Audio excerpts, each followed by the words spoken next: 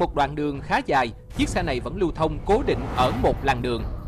Thế nhưng có một vài điểm bất thường ở chiếc xe tải này. Không biển kiểm soát và đèn tín hiệu bên phải thì mờ hẳn so với bên còn lại. Đang di chuyển với một tốc độ ổn định, khi gần tới một giao lộ, chiếc xe tải chuyển làn sang trái để tránh loạt xe máy phía trước. Bất ngờ, một chiếc xe máy vượt lên với tốc độ khá nhanh.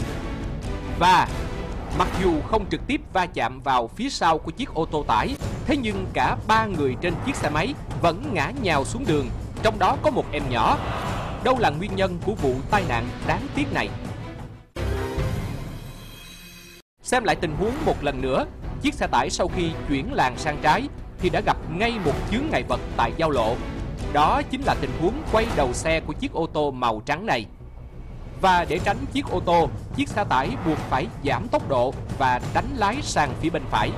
Việc giảm tốc độ và ép vào làn đường bên phải của chiếc xe tải đã khiến cho người điều khiển xe máy không kịp xử lý tình huống.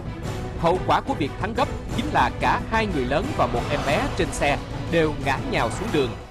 Chúng ta sẽ không dám tưởng tượng điều gì sẽ xảy ra nếu chiếc xe máy va vào gầm chiếc xe ben. Đúng không Trời Thảo? thôi thôi thôi Ngọc ơi bây giờ đừng đừng đừng thể nào mà tưởng tượng thêm nữa Thảo thấy trong tình huống này á, thì nó giống như là nhiều tình huống mà chương trình cũng đã đưa vấn đề chính ở đây là tốc độ của cả hai xe Đúng. Ờ, người đàn ông lái xe máy hoàn toàn không làm chủ được tốc độ để khi tình huống chiếc xe ben đánh lái tránh ô tô thì người đàn ông này không xử lý được tình huống.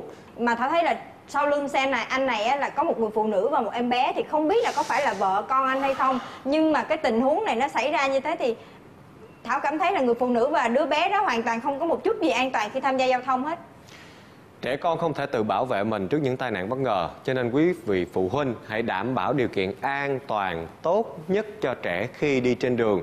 Và bây giờ xin mời quý vị đến với clip tiếp theo. Trước cổng một ngôi trường mẫu giáo, khá đông phụ huynh đang dừng xe